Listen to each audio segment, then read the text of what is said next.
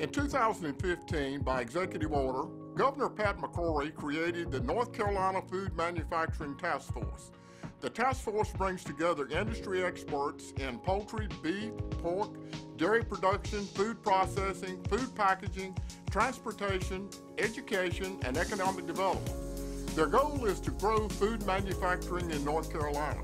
Our state is a leader in agriculture, ranking first in the nation in tobacco and sweet potatoes and second in the production of poultry and eggs, hogs, and turkeys. North Carolina is ranked eighth in the nation in agricultural output.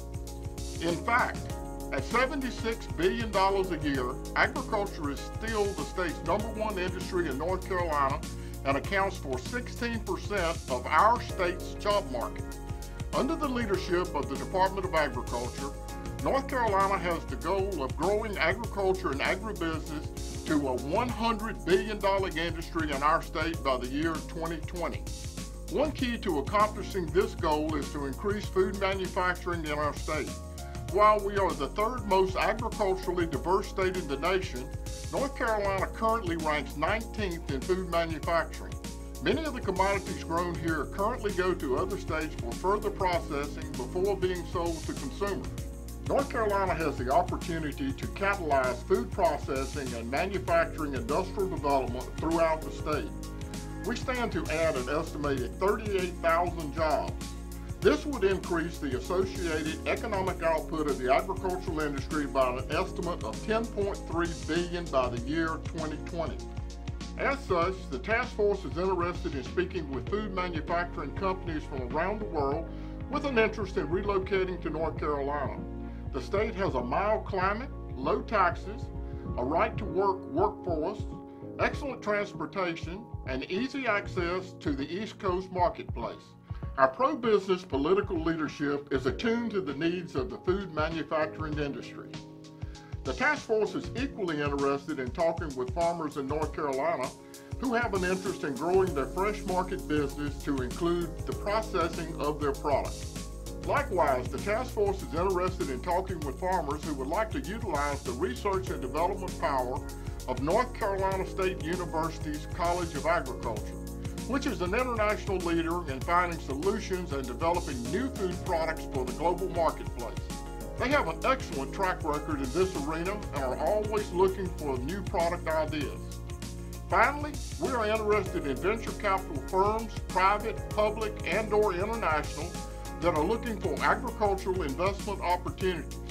We are methodically identifying those opportunities, vetting them, and researching what it will take to make them a success.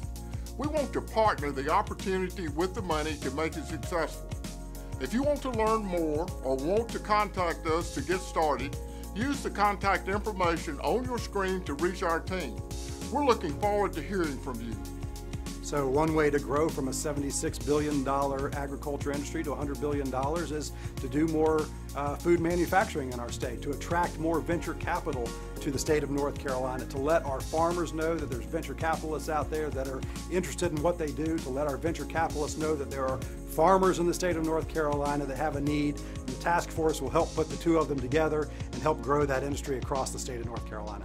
If you're at the beginning of the food system value chain or at the end of the food safety value chain, we want you. If you're a farmer, we want you because we think that we can take your ingredient and produce a value-added good that's going to help provide value and produce more money in the products that you produce. What we offer here in North Carolina is, is, certainly a great business climate, and that includes everything from costs of doing business that are well below the national average, uh, a skilled workforce that's uh, coupled with some great training resources that help them keep up to date with whatever skills manufacturers are looking for in their workplaces today. Uh, we've got a great transportation infrastructure. Uh, it's critical to be able to move raw materials in and, and finished products out. Well, North Carolina has been uh, focused in, in developing much greater and more robust manufacturing because we are a manufacturing state. It is our DNA. That's what we do.